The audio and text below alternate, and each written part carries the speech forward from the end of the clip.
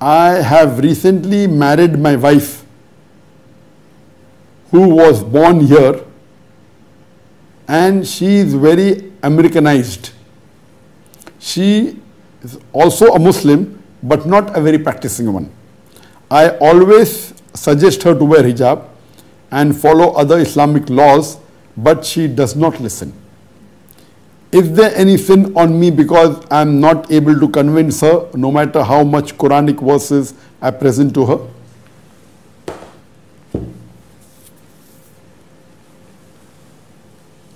There is a Muslim brother of ours who's from New York, USA and asked the question that he recently married an American Muslim who's Americanized and she's not a very practicing Muslim, she does not wear hijab. He tries to convince her to do the Islamic activity, she does not do. What should he do? Is he sinning if he's not able to convince her? Point number one, brother, that you should have thought of all these things before marrying her. Our beloved Prophet ﷺ said that when you are looking for a life partner, a person looks for four things. One is beauty, second is wealth, third is nobility, and the fourth is virtue, deen. And the most important amongst all these four is the deen. So before marrying, you should have thought of this. Now you have already married and now you're asking me. Because if you want to have a pious life, you should see to it that you have a pious and a practicing life partner. You cannot have a non-practicing life partner and then expect your life to be Islamic. It's difficult. If you want your children to be Islamic, you have to see to it that your life partner is also Islamic. Imagine you may be praying five times, but your wife doesn't pray five times. She may be not praying at all, or maybe praying once a day. How will your children pray five times a day? Very difficult.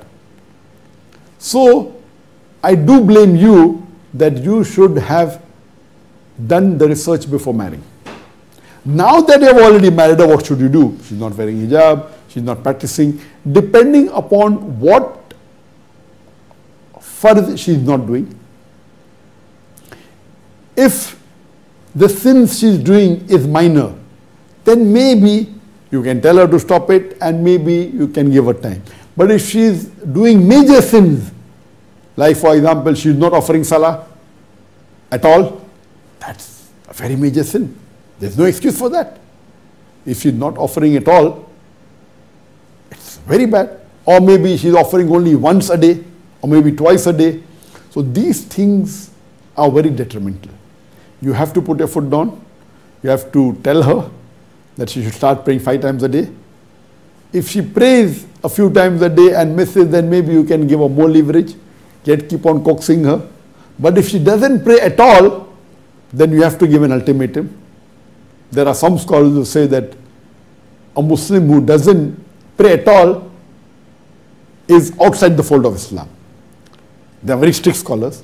The other scholars will say if they don't pray, but they agree to pray fard, then they are not outside the fold of Islam, but they are practicing Muslim. Now, depending upon what major sins your wife, are, what your wife is doing, or what other farais she is not doing, based on that you take the decision.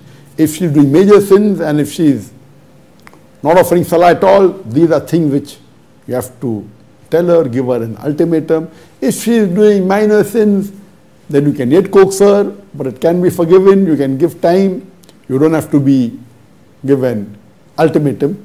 So unless you don't know what are the major sins, or what are the sins she is doing, or what practice of Islam she is not doing, then only can I tell you whether you can continue or not. But yes, you are responsible. Before marrying, you should have checked. Now you have to do dawa. See to it that you encourage her to see talks of authentic scholars, of authentic orators. What act is not doing, see to it you give talks on that particular act. Give talks on hijab. You can see my, my talk on women's rights in Islam. I've spoken on hijab and given the various reasons. There are various talks. There is Salah program towards righteousness. Based on the act is not doing, see to it that you encourage her to read books on that. Read scholars. Inshallah, pray to Allah subhanahu wa ta'ala that may your wife come to the straight path.